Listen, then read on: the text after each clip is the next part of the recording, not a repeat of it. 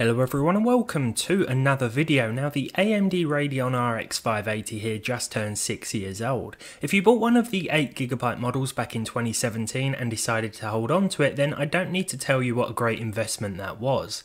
For between 230 and $300 depending on the model, the 580 offered excellent 1080p gaming performance and even held its own at 1440p, giving Nvidia's now legendary 1060 a good run for its money.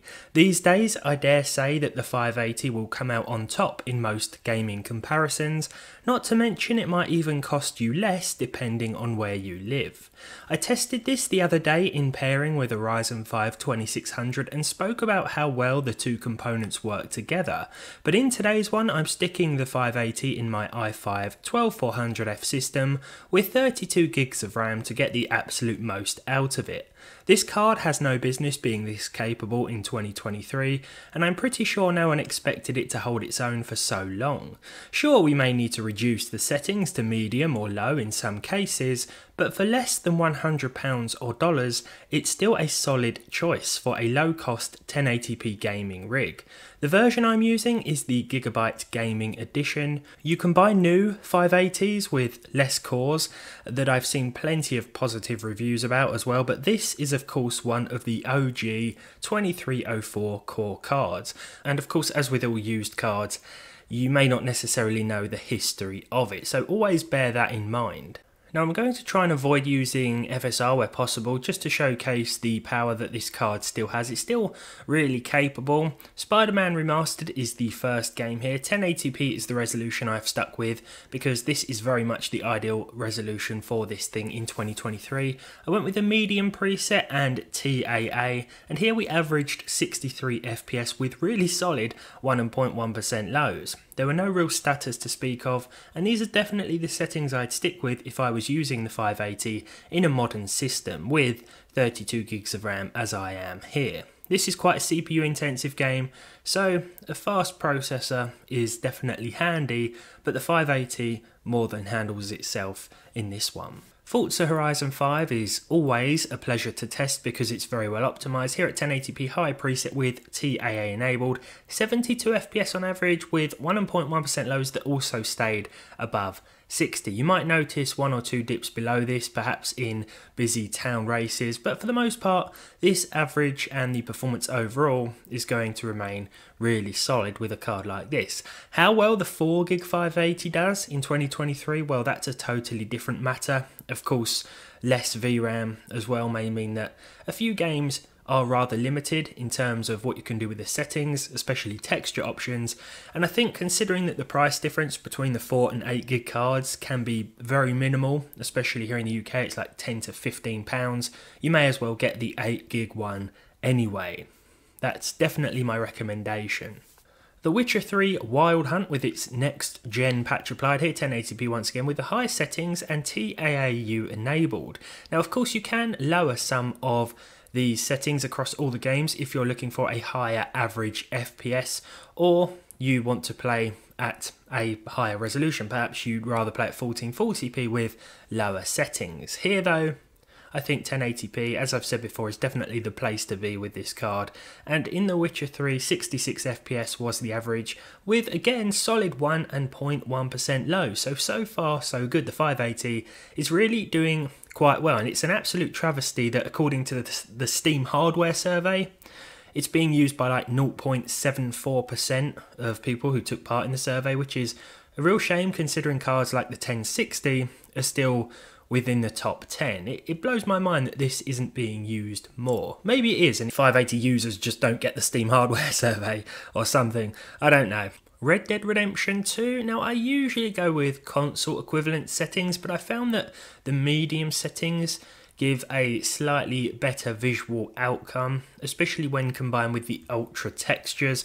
I'm also using TAA set to medium, and here we were still able to average over 60 FPS, again with really nice 1.1% lows, even in the busy town of Valentine. I'm sure the 6 core i5 is definitely helping here. Now, would I recommend pairing a card like this with a CPU like this? Well, I think if you've got the budget for a modern 12th or 13th gen build, you're probably not going to go with a 580 realistically. However, if you're putting together a modern i3 machine and you want to upgrade later, you could certainly stick a 580 in that system.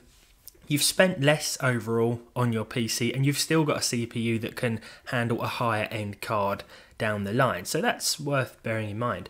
I think realistically realistically though the 580 is probably going to end up in a more modest overall system. Definitely in pairing with something like the 2600 we tested a while ago. Hogwarts Legacy now, I think this has actually improved a little bit with a few patches. 1080p medium preset with TAA low. I wasn't expecting at least 60 FPS here, and I certainly wasn't expecting percentile lows like this. I know they're not brilliant, but from what I've tested in the past, well, I've seen some serious problems with this one. 47 and 33 were the numbers. In and around Hogsmeade, the game remained a lot steadier and consistent than I thought it would, so definitely playable on the 580. Perhaps I was I was pushing it a little bit with the medium preset. You could definitely go with low to improve the average in those percentile figures, but this was all about pushing the card as much as I could and still getting at least 60 frames per second. Just like in a lot of games that I've tested, FSR is also available today too. Okay, so speaking of games that I think have improved since launch, The Last of Us Part 1, again with medium and FSR balanced. I know I could have gone with low, just like in Hogwarts Legacy, and that probably would have made more sense.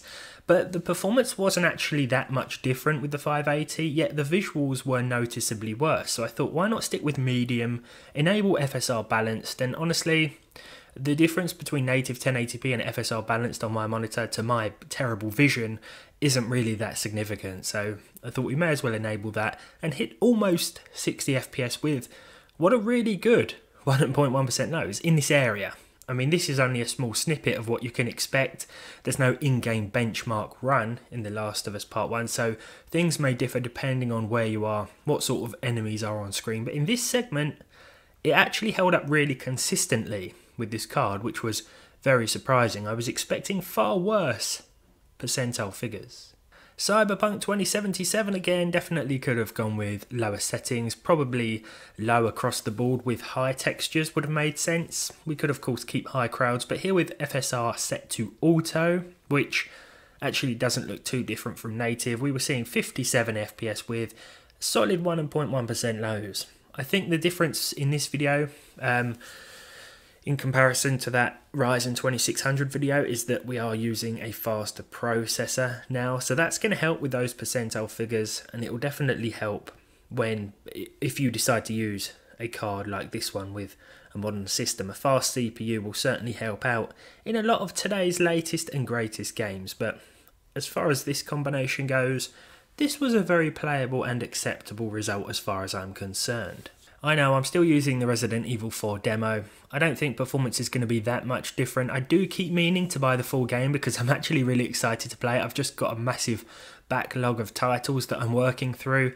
Here, with the prioritized performance preset, 81 FPS was the average. There were a few dips and drops below 60, that's why I kept the preset at prioritized performance, just so that when the game did drop, it didn't feel that heavy. As you can see, these percentile lows are pretty close together, so not really much stutter to speak of here, just a little bit of a dip in performance in those busier areas, like the village itself at the start of this level. But so far so good again, it's a pretty solid result here.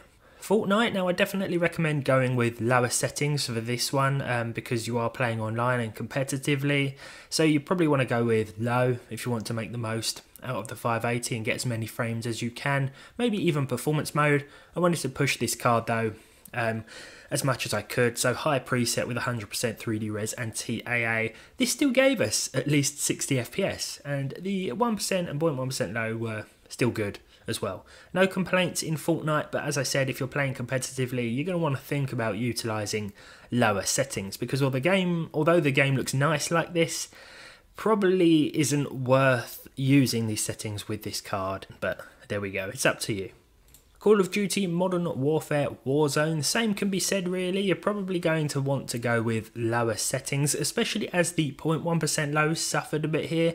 This did feel a little bit choppy in certain places, but overall the result was fairly solid with the balanced preset and SMAA T2X set to normal.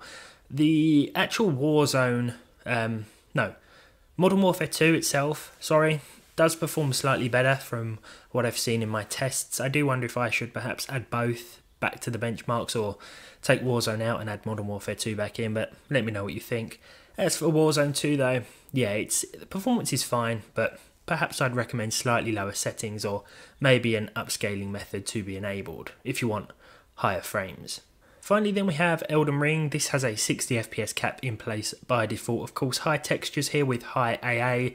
Now underneath this was the medium preset. I set things to medium first and then just adjusted the texture and anti-aliasing settings. This made sure that we hit the cap of 60, although there were a few little dips and drops here and there, which was to be expected. You could definitely drop the settings a little bit and the game would still look fairly decent, but you're still going to hit 60 FPS overall if you choose to go with medium like I've done here. Now overall, the RX 580 in 2023, I think it's still very impressive, especially if you pair it with a fairly modern machine. Let's say you build a modern i3 13100F PC, you think, oh, I'll just upgrade the graphics card later, I'll buy something cheap for now. Something like this might do.